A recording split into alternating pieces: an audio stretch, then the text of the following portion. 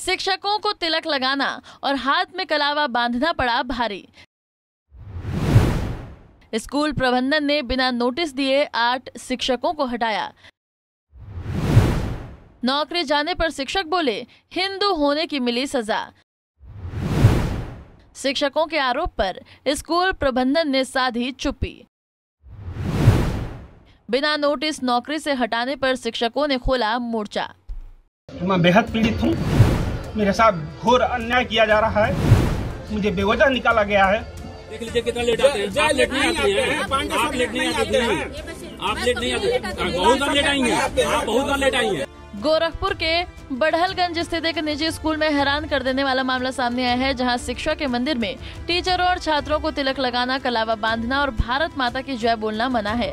जी हाँ चौकी अहमद ऐसा आरोप स्कूल के उन आठ शिक्षकों ने लगाया है जिन्हें बगैर किसी नोटिस के स्कूल से निकाल दिया गया। स्कूल से निकाले गए शिक्षकों का आरोप है कि उन्हें हिंदू होने की सजा मिली है क्योंकि स्कूल में राष्ट्रगान भारत माता की जय तिलक लगाना और, और कलावा बांधना प्रतिबंधित है। इन्हीं बातों का ये सभी शिक्षक काफ़ी समय से विरोध कर रहे थे जिससे नाराज़ होकर स्कूल प्रशासन ने उन्हें नौकरी से निकाल दिया है। जी निकाले जाने के संदर्भ में तो हमें कोई सूचना नहीं दी गई ना ही हमें किसी प्रकार की नोटिस दी गई। विगत 18 वर्षों से सर मैं स्वयं इस विद्यालय में अंग्रेज़ी अध्यापक के तौर पर काम करता रहा हूँ। और मामला निकाले जाने का जो उत्तर प्रदेश माध्यमिक शिक्षा बोर्ड की परीक्षा हुई थी, उसमें मैं मूल्यांकन के लिए परीक्षक बनाया गया था, अंग्रेज़ी कोड 917 जब मैंने प्रधानाचार्य से कहा कि मुझे मुक्त कर दीजिए, यह अनिवार्य ड्यूटी है, क्योंकि मेरे ऊपर एफआईआर हो सकता है, उन्होंने जाने से मना कर दिया। और अगले ही दिन दो दिन के बाद उन्होंने मेरा निष्कासन कर दिया। मैं क्यों हुआ? सर क्योंकि उनके उनके विद्यालय प्रबंधन और प्रधानाचार्य के खिलाफ कोई जा ही नहीं सकता। जैसे चाहते हैं वैसे रखते हैं। पूरा वेदना पीड़ा हम अध्यापकों को देते हैं और ये वजह भी हो सकती है कि हम लोग तिलक लगा के आते हैं रक्षा सूत्र लगाते हैं। प्रबंध प्रबंध समिति के एक सदस्य के रिश्तेदार मुझसे खुद आके बोला कि अमन यादव जी, आपको प्रिंसिपल बनना है तो आप एक टीका और साफा उतार दीजिए। ये क्योंकि विद्यालय मुस्लिम विद्यालय है। हालाँकि शिक्षकों का कहना है कि स्कूल प्रशासन ने कुल 11 टीचरों को नौकरी से निकाला है, जिनमें से आठ हिंदू समुदाय से हैं और तीन शिक्षक मुस्लिम हैं। जिन मुस्लिम शिक्षकों को निकाला गया है, उनकी रिटायरमेंट की उम्र हो चुकी है, मगर बाकी हिंदू शिक्षकों को स्कूल प्रबंधन ने अनुशासन और अन्य बातों को लेकर निष्कासित की बात कर रहा है। लेकिन इसके लिए न तो कोई नोटिस दी गई है और न ही कोई सूचना। मामला तो सबसे बड़ा ये है कि बिना कारण का स्कूल से बिना नोटिस दिए हुए हम लोगों को निकाल दिया गया है। और निकालने का सबसे प्रमुख कारण ये है कि जितने ग्यारह शिक्षक वहाँ से निकले हैं उन ग्यारह शिक्षकों में हिंदू शिक्षकों को ही टारगेट बनाया गया है और हिंदू शिक्षकों को इसलिए टारगेट बनाया गया है कि क्योंकि वह स्कूल एक धर्म को लेकर ही चला रहा है। क्योंकि अगर वहाँ उस स्कूल में जो मुस्लिम वर्ग के शिक्षक हैं, अगर वो टोपी पहन के आते हैं पैजामा जो है उनका अगर घुटने से ऊपर रहता है। किसी हिंदू टीचर का कोई आरोप कोई कुछ नहीं कहता है। लेकिन वो लोग हम लोगों को कहीं ना कहीं किसी रूप में टीका टीका टिप्पणी करते रहते हैं इस मामले में कि हम लोग जो है टीका लगाते हैं कलावा पहनते हैं और उनको हम लोगों को हे दृष्टि से देखा जाता है। इसी वजह से हम लोगों को आठ टीचरों को टारगेट बनाकर एक साजिश के तहत हम लोगों को निकाला गया है।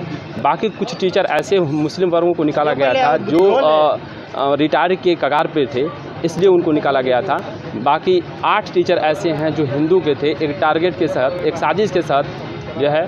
शिक्षकों को नौकरी से निकाले जाने के बाद स्कूल के कुछ छात्र भी अब स्कूल प्रशासन के खिलाफ हो गए हैं और खुलकर अपने शिक्षक का साथ दे रहे हैं। मुझे Shabnam memorial inter college Barhalganj जहाँ मैं काफ़ी पहले से पढ़ पढ़ता आ रहा हूँ और मुझे पहले तिलक के लिए मना नहीं किया जा रहा था बट बट अब एक सरोज सिंह जो अभी आई हैं प्रधानाचार्य हैं उनके द्वारा उनके द्वारा उनके द्वारा आ, मुझे तिलक के लिए पहले मना किया गया अभी कुछ महीने पहले पहले तिलक के लिए मुझे मना किया गया तिलक लगा के मत आना। मैंने कहा मैंने कहा तिलक तो मैं लगाऊँगा। फिर और भी दबाव डाला गया कि नाम काट के स्कूल से निकाल देंगे। आ, मैं ये बताऊँ एक साथ ग्यारह टीचर कैसे अनुशासनहीनता मतलब अनुशासन कैसे अनुशासन को तोड़ सकते हैं? हमारे जो अभिमन्यु सर हैं वो पूरे स्कूल में सबसे पहले उनका सिलेबस ख़त्म होता था और दो तीन महीने पहले से तैयारी वो लोग कराना चालू कर देते थे, केवल वो। और किसी का सिलेबस उतना कंप्लीट नहीं होता था। और जो हम, जो एक अभिषेक त्रिपाठी नाम का जो लड़का है, वो हम लोग का अनुज और कस्बे का निवासी है।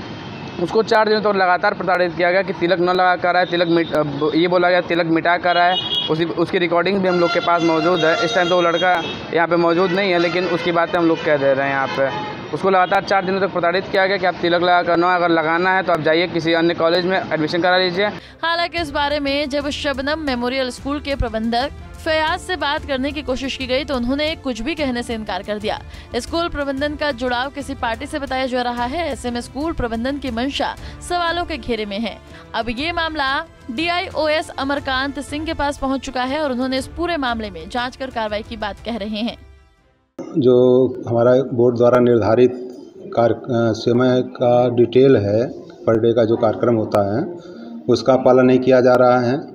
और कुछ और इशू बताया गया है कि वहाँ पे कार्यक्रम, शादी विवाह जैसे भी कार्यक्रम कराए जाते हैं, और किसी तरीके का और भी कुछ भेदभाव की चीज़ें बताई बच्चे ने। इन बिंदुओं पे कल मैं एक टीम को भेज करके चेक कराता हूँ, क्योंकि ये सुनिश्चित है कि जो मान्यता होती है विद्यालय की उसमें बोर्ड के द्वारा निर्धारित जो कार्यक्रम है, जो टाइम टेबल है, समय सारणी जिसको कहते हैं, उसके अनुसार ही विद्यालय चल सकता है। किसी भी बच्चे के साथ या किसी भी वहाँ पे स्टाफ के साथ कोई भेदभाव नहीं कराया जा सकता। अगर ये चीज़ें सही पाई जाती हैं तो जो भी मान्यता की शर्तों के उल्लंघन के लिए कार्रवाई का प्रावधान है, उसके तहत कड़ी कार्रवाई की जाएगी। स्कूल प्रबंधक के तुगलकी फरमान से चर्चाओं का बाज़ार गर्म है, क्योंकि स्कूल के कुछ टीचरों को सिर्फ़ इसलिए नौकरी से निकाला गया क्योंकि वो तिलक लगाकर और कलावा बांधकर स्कूल आते थे और राष्ट्रगान और भारत माता की जय का समर्थन कर रहे थे।